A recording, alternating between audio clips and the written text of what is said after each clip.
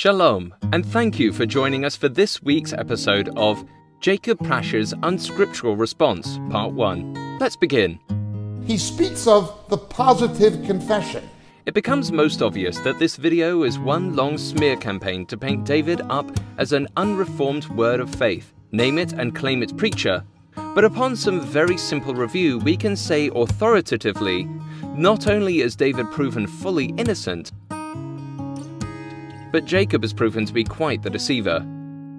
That he left things like the Word of Faith movement, but he hasn't left all of their doctrine.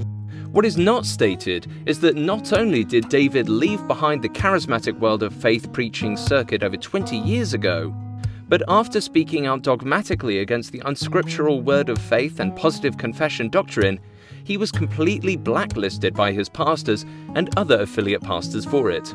He speaks of the positive confession, and he highlights Matthew 14, 22 to 28 of Jesus walking on the water. After claiming to us that David speaks about positive confession, Jacob reveals to the audience a deceitfully edited version of David's teaching, which makes it appear that David is affirming positive confession. Well, what does Jacob deceptively and conveniently cut out? Let's have a look. Jacob hides from us the portion which reveals his study is actually an explicit defense against positive confession. Let's have a closer look.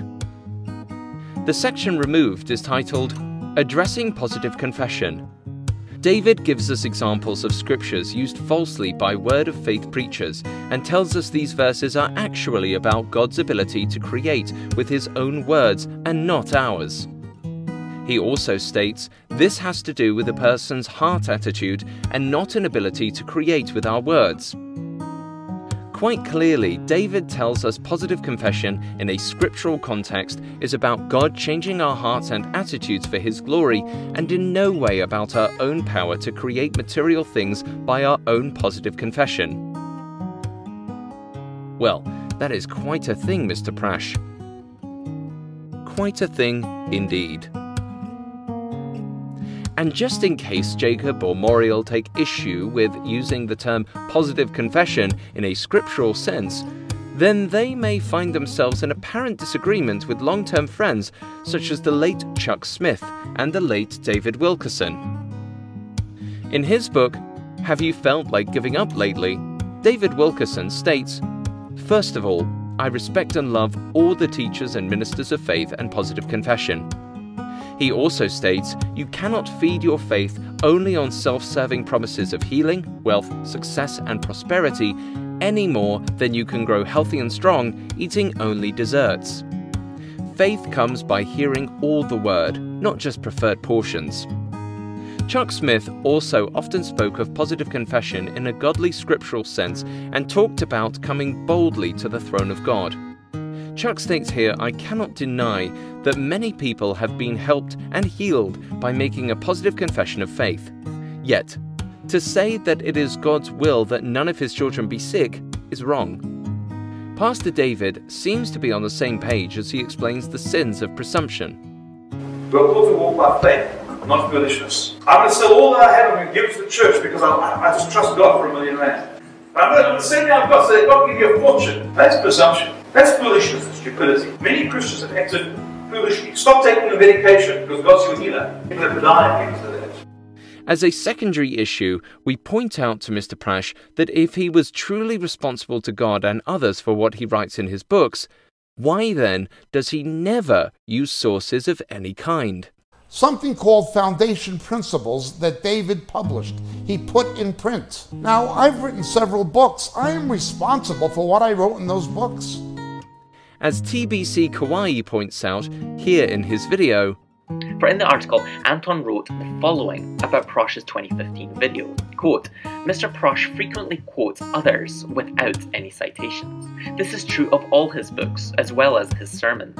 It therefore becomes impossible to check his sources. Now, I've written several books. I am responsible for what I wrote in those books. Prasch wrote a combined 1,117 pages, and the kind of academic standard we are looking for by contrast of one and a half citations per page is 1,675 citations across Prasch's two books. Not just responsible to the body of Christ, responsible to the Lord. So, how many citations does Prasch make in those two books so people can fact check his views on people and their motives? If you write something and teach it, you own it. Not quite 1,675. Prasch managed a grand total of zero. Zero citations. None. At the end of every chapter, when you expect a list of references, you find empty space. Every chapter, not one footnote on any page in any book. They aren't scholarly works, they are just an opinionated jumble of true, half true, and flat out made up information. The culpability for anything wrong is on the teacher. It's on the teacher. Well, Mr. Bosch reveals that there are many suspect quotes in Jacob's books. If even the secular world has such high standards for scribal honesty and integrity, then why does Mr. Prasch showcase such a low standard?